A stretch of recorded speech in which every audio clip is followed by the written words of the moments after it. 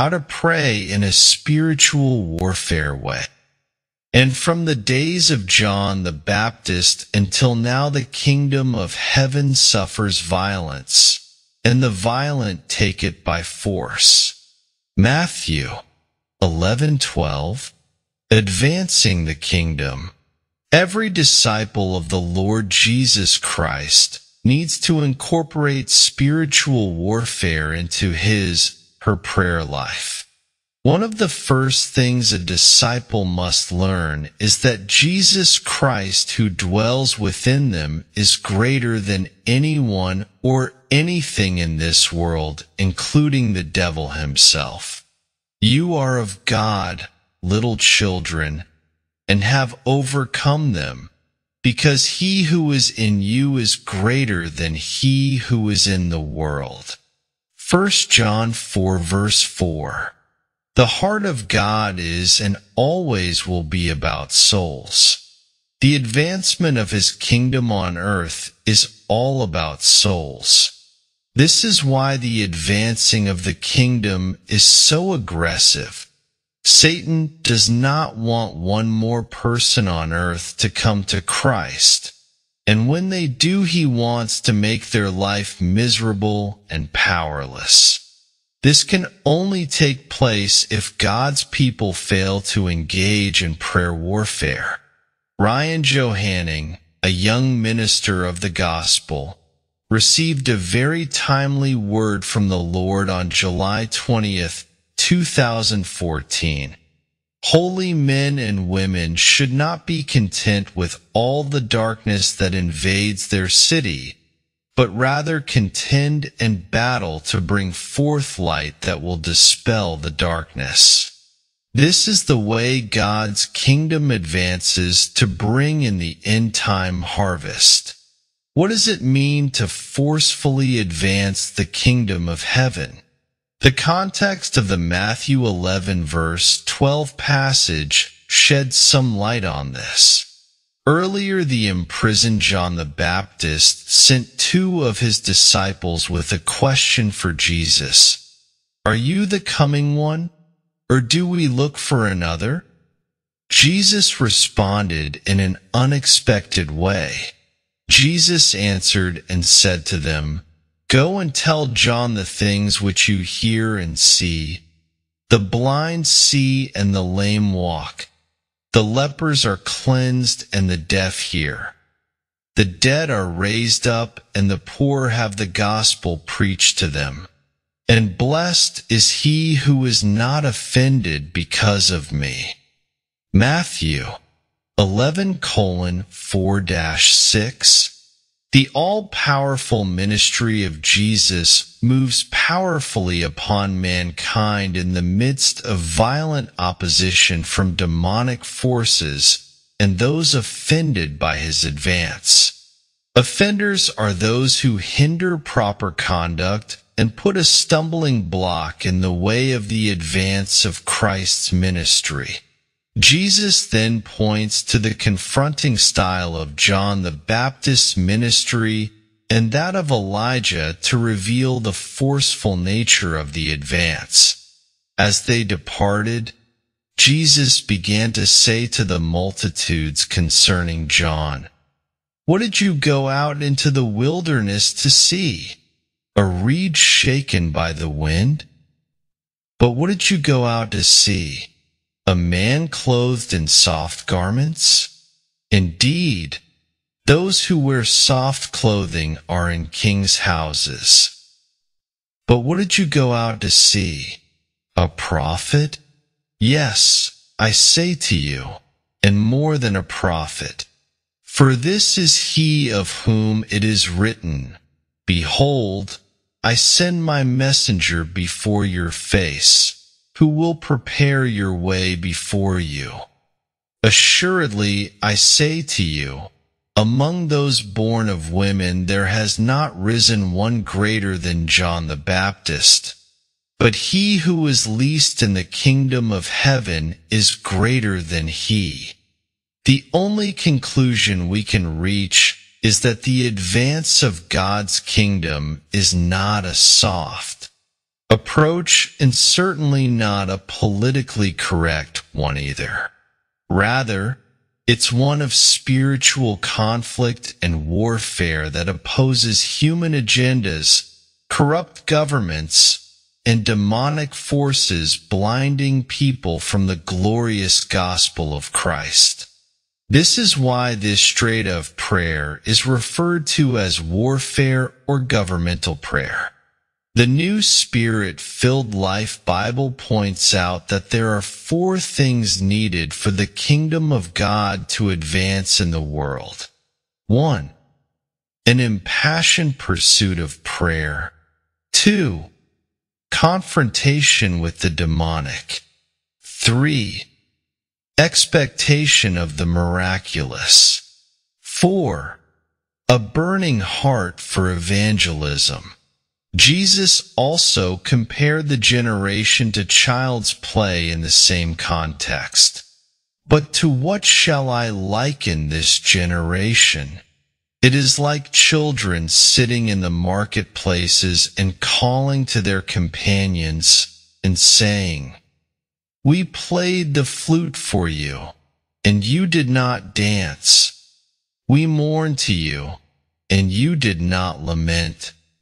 For John came neither eating nor drinking, and they say, He has a demon.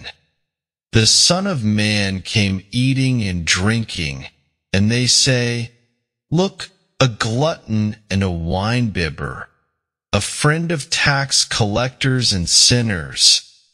But wisdom is justified by her children. Matthew 11 colon 16 dash 19. Prayer warfare is not child's play, and neither is the advancing of God's kingdom. The Holy Spirit's power is designed to work through every disciple. God's advance expands his kingdom rule and shakes things up. The New Spirit-filled Bible sums it up this way. Jesus references to the non-religious style of John and the confrontative, miraculous ministry of Elijah teach that the kingdom of God makes it penetration by a kind of violent entry opposing the human status quo. It transcends the softness of staid religious formalism and exceeds the pretension of child's play it refuses to dance to the music of society's expectation that the religious community provide either entertainment, we played the flute, or dead traditionalism, we mourned. The upheaval caused by the kingdom of God is not caused by political provocation or armed advance. It is the result of God's order shaking relationships, households, cities, and nations by the entry of the Holy Spirit's power in people. Opposition to the advance of God's kingdom is formidable, but is overcome by disciples who engage in prayer warfare at the strategic levels. In fact, the Bible documents four main areas used by the enemy to oppose the miraculous kingdom advance. 1. Government, Acts 16 verses 35 to 40. 2. Religion, Acts 4 verses 1 and 17. 3. Business, Acts 16 verse 19. 4. All of the above together, Acts 17 verses 5 to 6. This is why prayer warfare at the corporate level is so important to the advance of God's kingdom today. It's important for disciples to understand that this warfare is also taking place in the heavenly places, and when they engage at this level, they are making war in the heavenlies. We know this from Daniel, who heard nothing from God for 21 days due to the warring in heaven, and also the archangel Michael, who wars against Satan and his commanders of darkness. Then he said to me, do not fear Daniel. For from the first day that you set your heart to understand and to humble yourself before your God, your words were heard, and I have come because of your words. But the prince of the kingdom of Persia withstood me twenty-one days. And behold, Michael, one of the chief princes, came to help me, for I had been left alone there with the kings of Persia. And war broke out in heaven. Michael and his angels fought with the dragon, and the dragon and his angels fought, but they did not prevail, nor was a place found for them in heaven any longer. Perhaps not every disciple is called to this level of strategic prayer, but every disciple needs to understand it and support it. Demonic armies oppose the purposes of God, and this is often reflected in people, religions, businesses, and governments on earth. The weapons of warfare.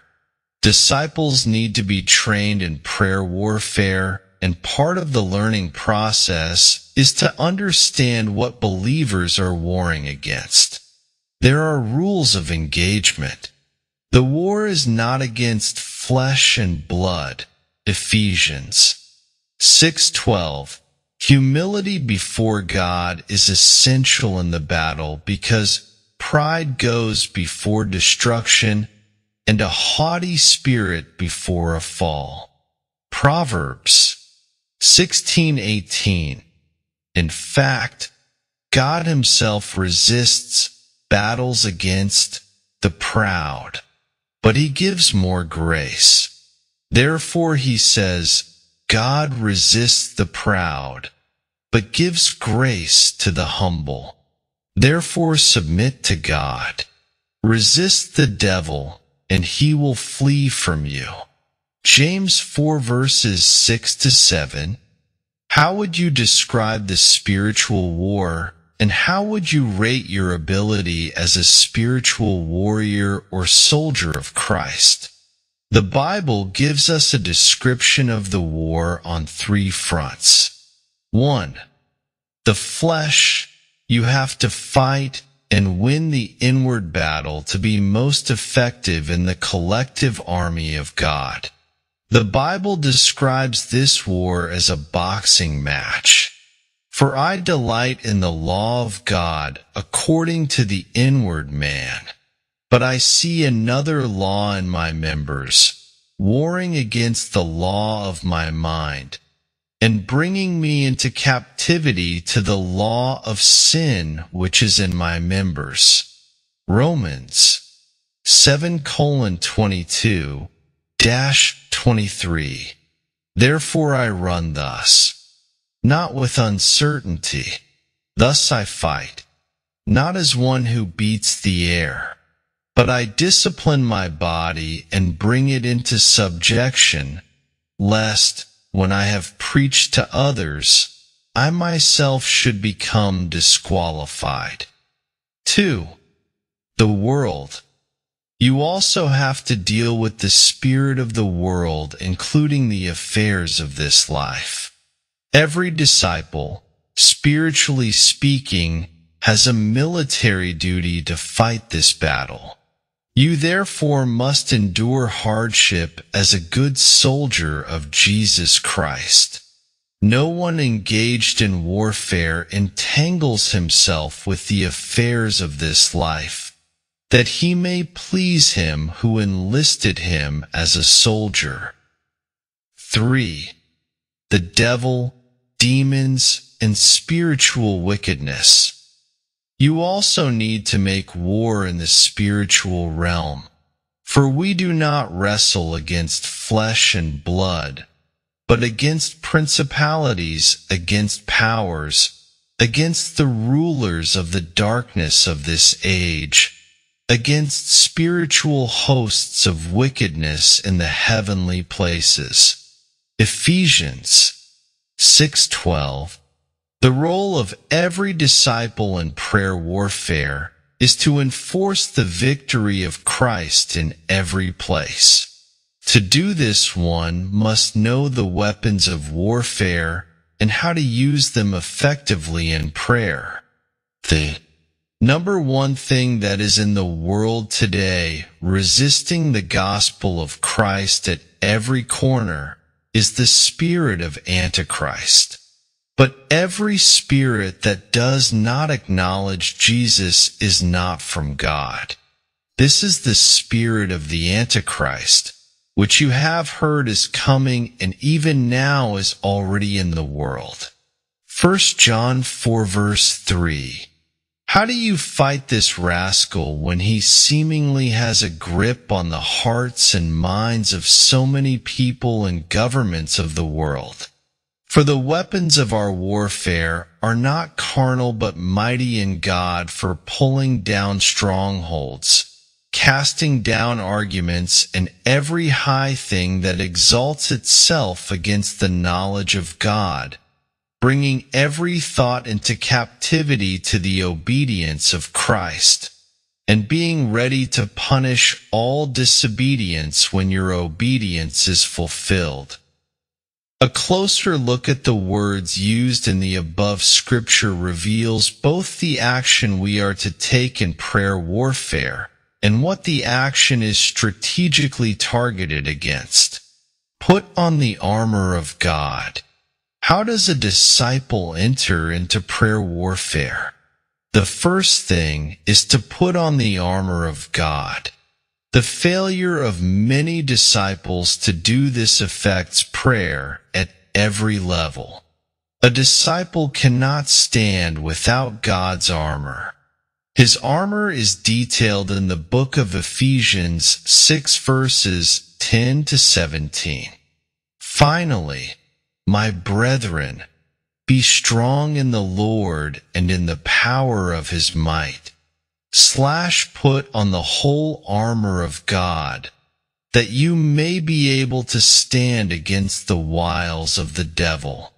For we do not wrestle against flesh and blood, but against principalities, against powers, against the rulers of the darkness of this age, against spiritual hosts of wickedness in the heavenly places.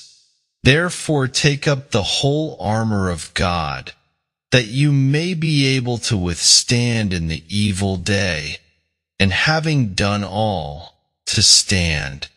Stand therefore, having girded your waist with truth, having put on the breastplate of righteousness, and having shod your feet with the preparation of the gospel of peace.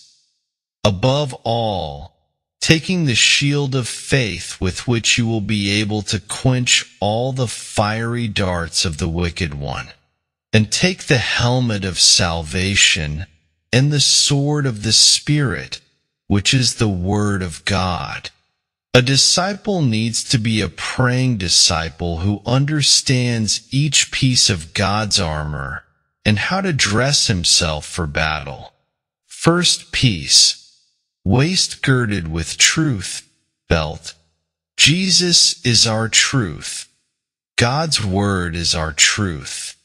Uh, whenever we stand for truth, we should not be surprised if we come under attack. And all other armor are weapons of truth also.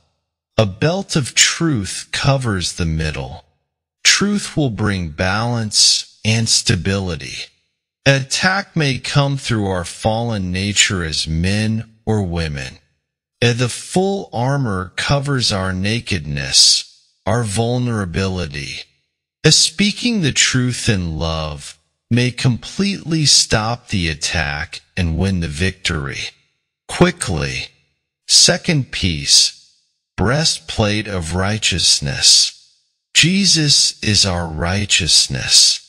We are now the righteousness of God in Christ Jesus. This piece covers vital organs of heart and lungs.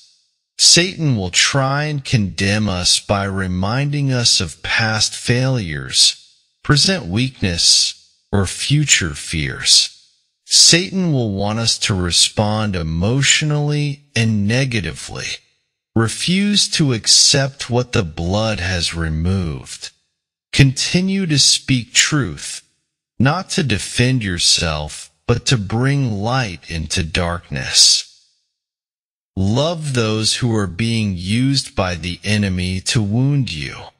Remember that they too are being wounded as they are being used by him in the attack. Remain in an attitude of forgiveness. Father, forgive them, for they know not what they do. Remember who the enemy is. It's not people. Be quick to repent.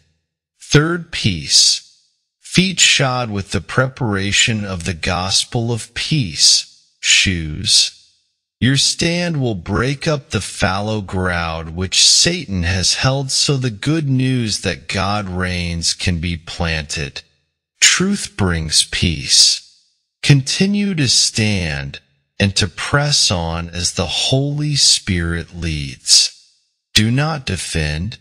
Press for peace, standing firm. Pressing on will open prison doors even to those who are being used to attack us. We stand with the enemy under our feet on Calvary ground. Fourth piece, shield of faith. Christ's faith, his gift to us.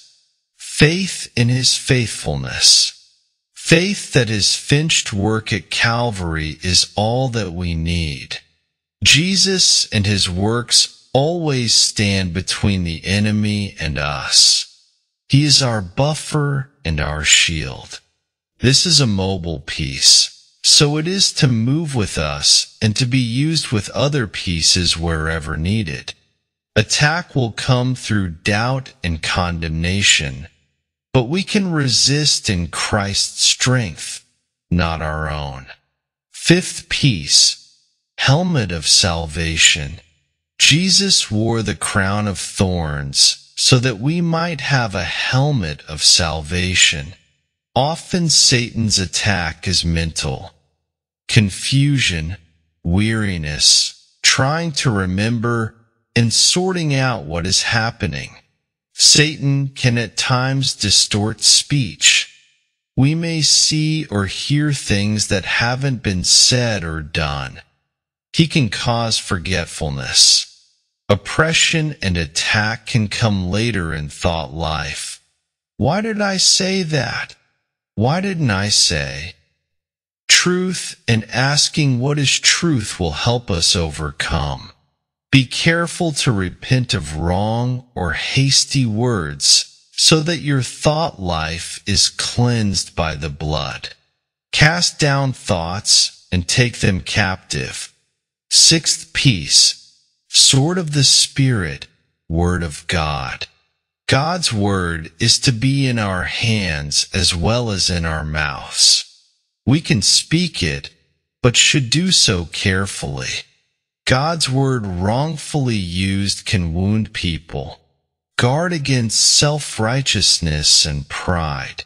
We must continually offer grace and help the people while driving back our common enemy.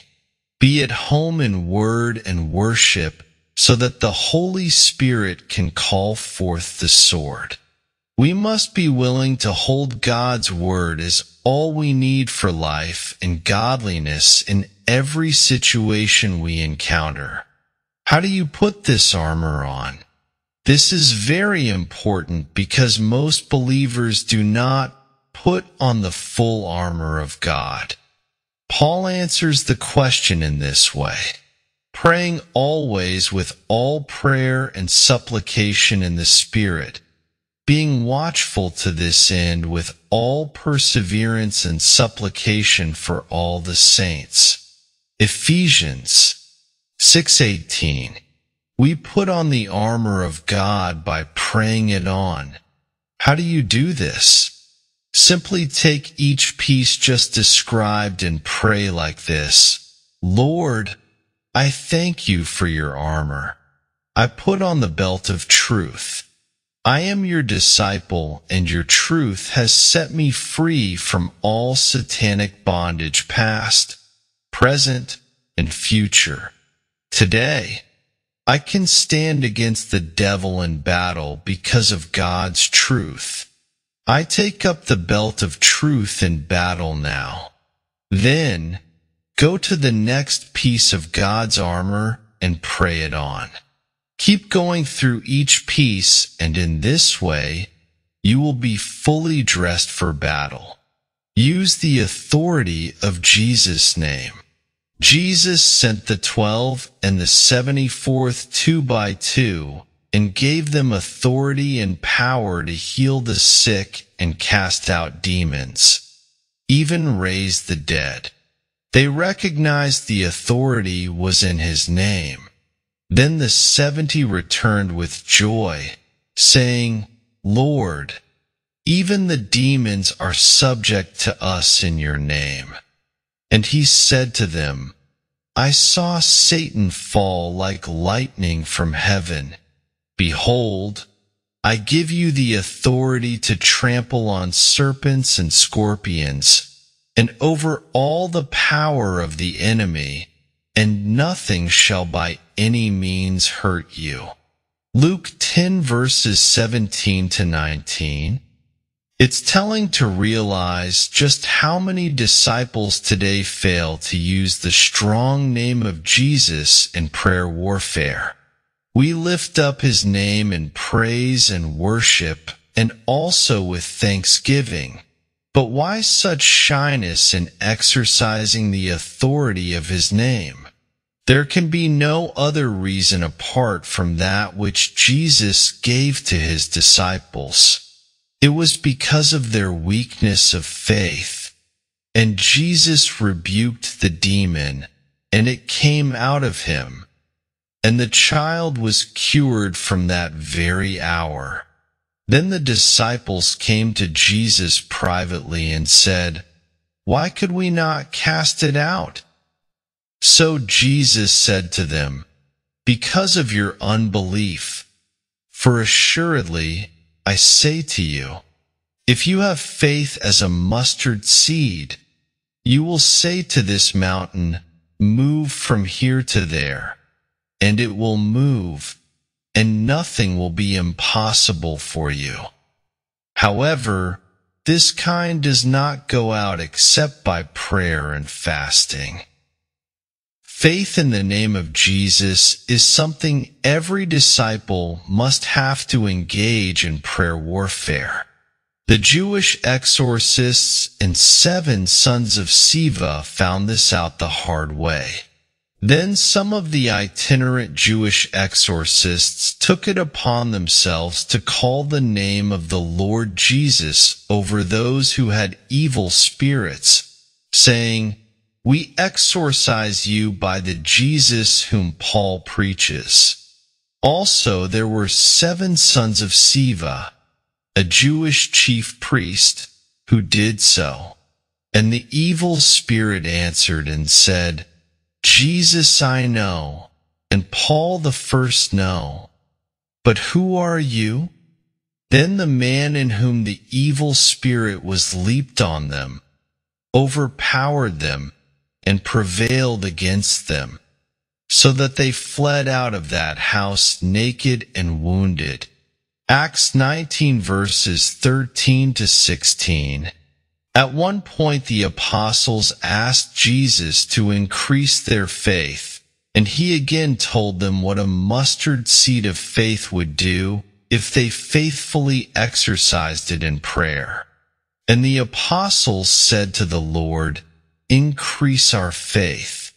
So the Lord said, If you have faith as a mustard seed, you can say to this mulberry tree, be pulled up by the roots and be planted in the sea, and it would obey you.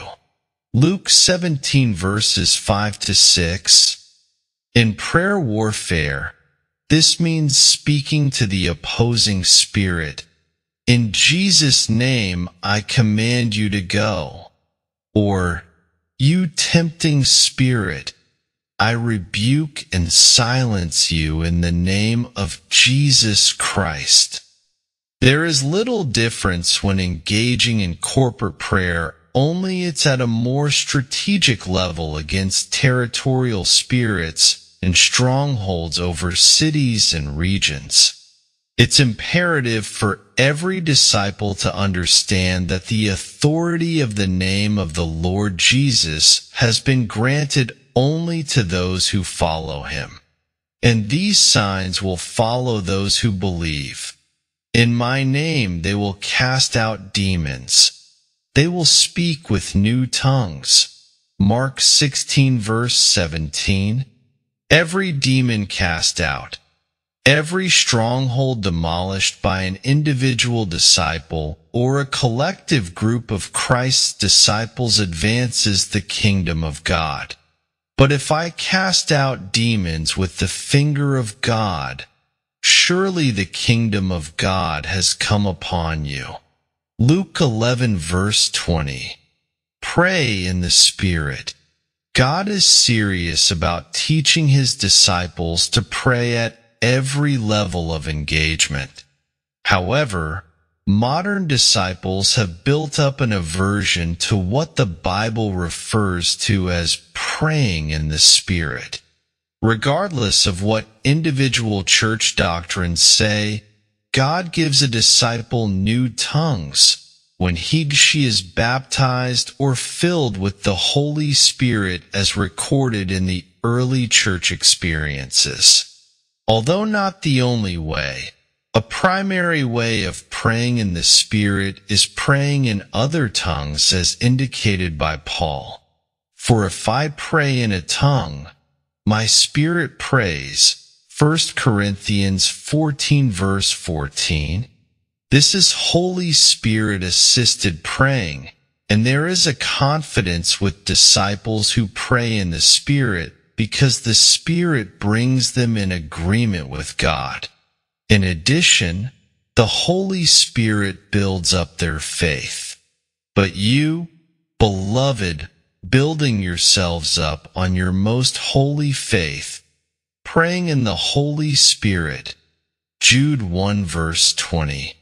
Praying in the Spirit also creates a spiritual unity focused around Christ and the Father's business.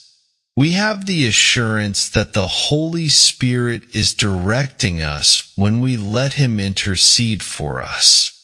Likewise, the Spirit also helps in our weaknesses. For we do not know what we should pray for as we ought, but the Spirit Himself makes intercession for us with groanings which cannot be uttered. Romans 826 there are no understandable words that can be spoken when the Holy Spirit is praying through us. Our understanding is limited in comparison to Him, so we need to pray in the Spirit and let Him lead the way into the perfect will of God. Declare God's Word. Jesus defeated the devil in the wilderness temptation with the scriptures. In all three frontal attacks, he addressed the enemy with, It is written. On the final attack, Jesus declared, Then Jesus said to him, Away with you, Satan, for it is written, You shall worship the Lord your God, and him only you shall serve. Then the devil left him, and behold, angels came and ministered to him. Matthew 4 colon 10 dash 11. Disciples today need to do the same. Faith declarations of God's Word are propelled by the Holy Spirit from the mouths of His followers. They place the written judgment upon the enemy. The devil is fearful of this, and his plans and strongholds are shattered when God's people declare his word. Is not my word like a fire, says the Lord, and like a hammer that breaks the rock in pieces? Jeremiah 23:29 How followers of Christ view God's word is critical for every generation. You must pray in accordance with God's word knowing that the scripture cannot be broken, John 10 verse 35, and that it cannot be subjected to man's personal feelings and interpretations. Knowing this first, that no prophecy of scripture is of any private interpretation, for prophecy never came by the will of man. But holy men of God spoke as they were moved by the Holy Spirit. 2 Peter 1 colon 20-21. The Word of God is not called the sword of the Spirit, Ephesians 6:17. For nothing. How sharp is your sword? You need to use it in prayer warfare. For the word of God is living and powerful and sharper than any two-edged sword, piercing even to the division of soul and spirit and of joints and marrow, and is a discerner of the thoughts and intents of the heart. Hebrews four 12. Pray through to victory. King Hezekiah was 39 years old when Sennacherib, king of Assyria, surrounded Jerusalem, intending to engulf it with utter destruction and defeat. Hezekiah sent word to the prophet Isaiah, This day is a day of trouble and rebuke and blasphemy. For the children have come to birth, but there is no strength to bring them forth. Isaiah 37 verse 3 Hezekiah acknowledged their weakness and yet viewed prayer as their only possible hope. He took the blasphemous letter from Sennacherib and laid it before the Lord and prayed. And Hezekiah received the letter from the hand of the messengers and read it. And Hezekiah went up to the house of the Lord and spread it before the Lord. Then Hezekiah prayed to the Lord, saying, O Lord of hosts, God of Israel, the one who dwells between the cherubim, you are God, you alone, of all the kingdoms of the earth. You have made heaven and earth. Incline your ear O Lord, and hear. Open your eyes, O Lord, and see, and hear all the words of Sennacherib, which he has sent to reproach the living God. Truly, Lord, the kings of Assyria have laid waste all the nations in their lands, and have cast their gods into the fire.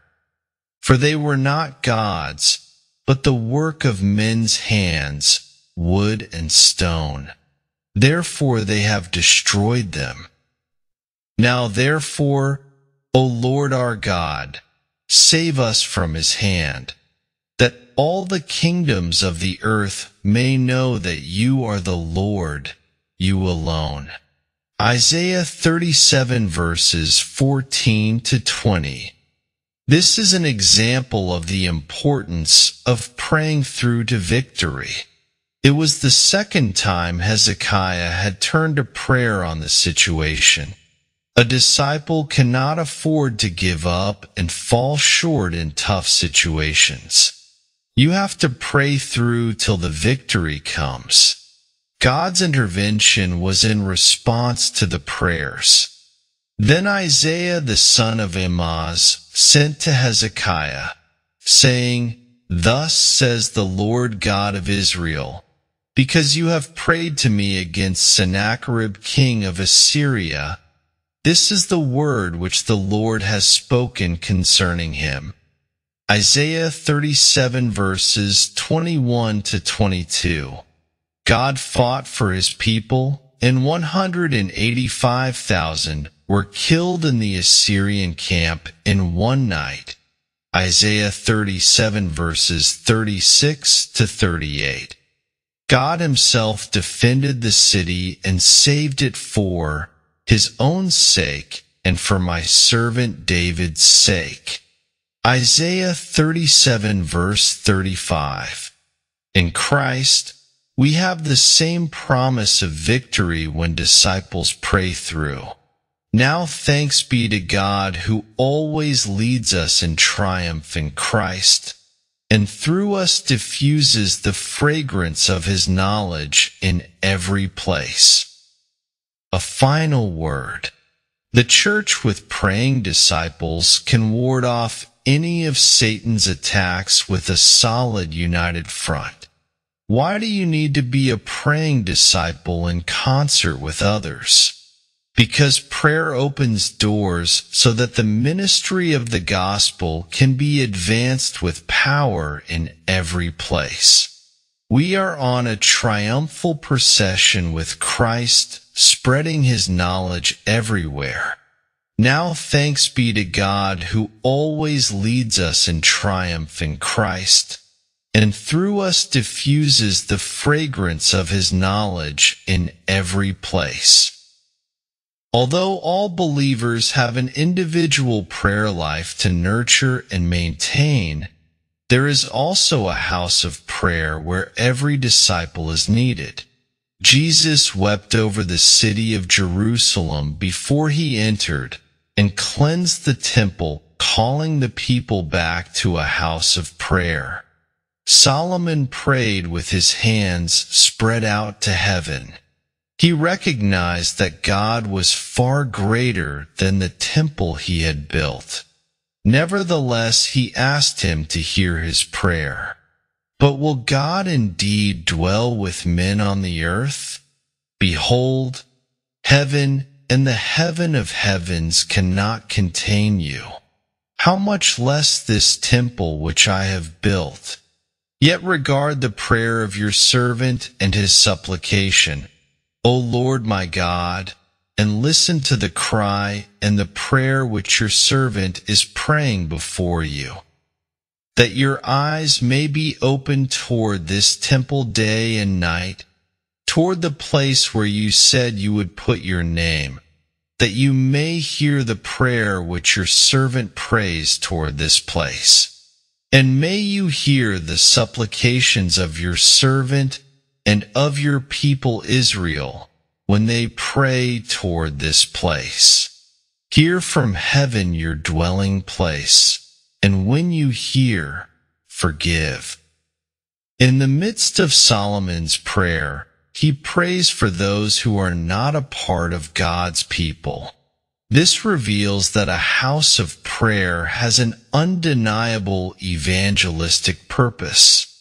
Moreover, concerning a foreigner, who is not of your people Israel, but who comes from a far country for the sake of your great name and your mighty hand and your outstretched arm, when they come and pray in this temple. Then hear from heaven your dwelling place, and do according to all for which the foreigner calls to you that all peoples of the earth may know your name and fear you, as do your people Israel, and that they may know that this temple which I have built is called by your name. Second Chronicles 6 colon 32 dash 33.